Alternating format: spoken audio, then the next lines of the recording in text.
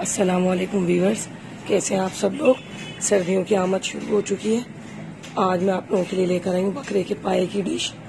तो देखिए उसको मैं किस तरह से बना रही हूँ और क्या क्या चीज़ें डाल रही हूँ। लौंग लिए मैंने चार से पाँच अदद और सब्ज़ इलायची लिए तीन से चार अदद, बड़ी इलायची एक अदद, सफ़ेद ज़ीरा लिया है, वन टीस्पून और दस से बारह काली मिर्चें लिए हैं, जावेत्री जायफल छोटे छोटे टुकड़े लिए हैं दारचीनी लिए। इन सबको मैं पीस लूँगी बारीक और उसके बाद जो चीज़ें डल रही हैं, वो मैं आपको बता रही हूँ। इसको आप बिल्कुल फाइन बड़ी इलायची के जो है आप छिलके अलहदा रिमूव कर देना और छोटी इलायची के भी छिलके इसमें से हटा दीजिएगा। ये देखें, पिस चुका है मसाला। अब जो इसमें चीज़ें डाल रही हूँ, मज़ीद ये लहसुन के जो हैं, सात से आठ अदद, इनको भी पीस लूँगी इसी में मैं। और इसके बाद डेढ़, तकरीबन डेढ़ प्याज मैंने काट कर बारीक, और वो भी इसमें ही पीसी है। और आधी प्याज मैंने बघार के लिए रखी है।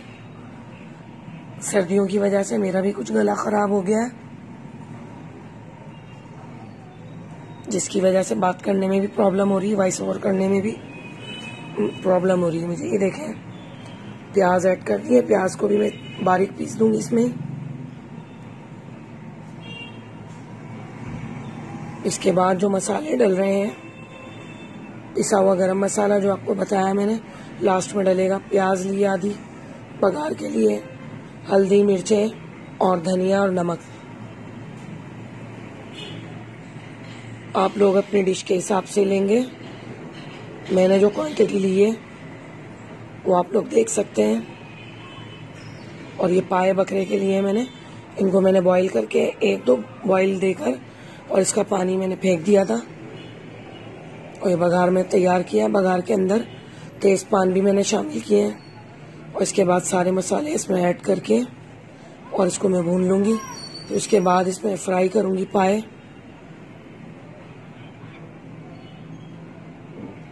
काफ़ी सर्दी हो चुकी है, ठंड हो चुकी है हैदराबाद में और बादल हो रहे हैं बहुत ज़्यादा। तो बच्चों की भी केयर करें, आप खुद की भी केयर करें, क्योंकि जो चेंज हो रहे होते हैं मौसम, अक्सर बीमार कर देते हैं। इसके अंदर थोड़ा मैंने दो चम्मच के करीब लहसुन अदरक का पेस्ट डाला है। और इसके बाद ये जो मिक्सर मैंने पीसा था, लहसुन के जो है प्याज, इसको भी ऐड कर दूँगी। और इसके बाद हल्दी हल्दी, मिर्चें, धनिया और नमक ऐड करके और पाए इसमें शामिल करके इसको अच्छी तरह से भूनना है। ऑयल जब अलहदा हो जाए हमारे पाए का तो उसके बाद उसमें पानी ऐड करके आप प्रेशर कुकर में उसको रख सकते हैं। मैंने तकरीबन 20 से 25 मिनट के लिए प्रेशर कुकर में पकाए और चार गिलास पानी मैंने ऐड किया था उसमें। मेरे पास जो पाए मौजूद थे, ये भुने हुए नहीं थे, छिले हुए थे, अक्सर छिले हुए जो पाए होते हैं, उसमें बाल चुपके हुए होते हैं। जानवर के तो आप उसको अच्छी तरह साफ़ कर लें, फिर उसके बाद बॉईल होते हुए पानी में उसको अच्छी तरह बॉईल करें और वो पानी फेंक दें। तकरीबन सारे बाल निकल जाएँगे उसके और साफ़ हो जाएँगे बिल्कुल। ये देखें, मैंने इसमें ऐड किया है और इसको मैं भूनूँगी। आप लोग देखें और रेसिपी को एंजॉय करें।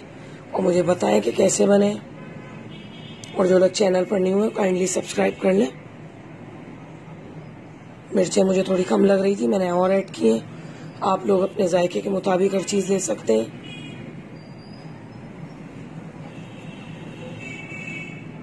यहाँ पर पाए में एक किलो के करीब मेरे पास मौजूद है। आप आधा किलो या जितने भी बनाए, उसके हिसाब से मसाले रखेंगे।